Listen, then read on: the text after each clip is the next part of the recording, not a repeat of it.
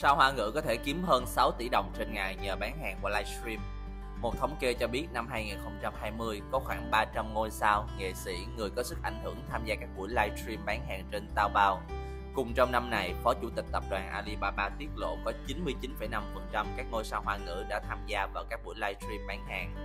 Thù lao của các ngôi sao khi livestream bán hàng một lần dao động từ vài trăm ngàn đến vài triệu nhân dân tệ, khoảng hơn 1 tỷ đồng đến vài tỷ đồng có nguồn tin cho biết diễn viên giả nải lượng từng nhận thù lao đến 2 triệu nhân dân tệ, khoảng hơn 6 tỷ đồng cho một lần livestream bán hàng.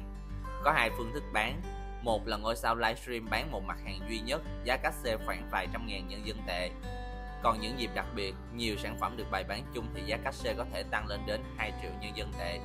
Ngoài ra, các ngôi sao còn có thể được chia hoa hồng với mức khác nhau tùy mặt hàng, dao động trong khoảng 20 đến 30%. Một nguồn tin cho biết thù lao cứng để quảng cáo sản phẩm phụ thuộc nhiều vào danh tiếng của ngôi sao. Nhiều gương mặt nổi tiếng thuộc công ty người này quản lý khi livestream chỉ nhận tiền hoa hồng từ doanh thu bán sản phẩm, chứ không có thù lao cứng. Mức hoa hồng tối thiểu cho sản phẩm là 10.000 nhân dân tệ, khoảng 35 triệu đồng. Dẫu vậy, nhiều công ty môi giới tính chi phí khá đắt đỏ nên nguồn thu đến tay các ngôi sao đôi khi không nhiều như những con số được công bố.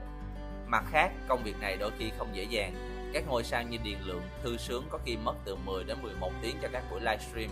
Các buổi livestream thường cũng có sẵn kịch bản để họ làm theo, nhưng có người thậm chí gần đến buổi phát sóng vẫn chưa biết họ sẽ bán gì vì không dành thời gian tìm hiểu. Hiện tại, sau thời gian phát triển sôi động thì gần đây tình hình có vẻ trầm lắng hơn. Mức thù lao của các ngôi sao không còn cao như trước vì các doanh nghiệp không còn tin tưởng một cách mù quáng vào những người nổi tiếng. Tháng 12 năm ngoái, một thương hiệu chi ra 80.000 USD khoảng 1,6 tỷ đồng để mời Trần Tiểu Xuân livestream 3 buổi với định mức doanh thu phải đạt được là 157.000 USD. Cuối cùng, các buổi livestream đều không đạt hiệu quả, doanh thu không đạt được con số yêu cầu khiến nam diễn viên bị kiện phải bồi thường.